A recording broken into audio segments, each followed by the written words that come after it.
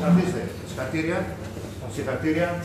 Δύο λεπτάκια να μας βοηθήσετε λίγο. Θα βάλουμε μερικές φωτογραφίες. Ε, πού είναι ο Μιμής, πάψε με το Μιμή.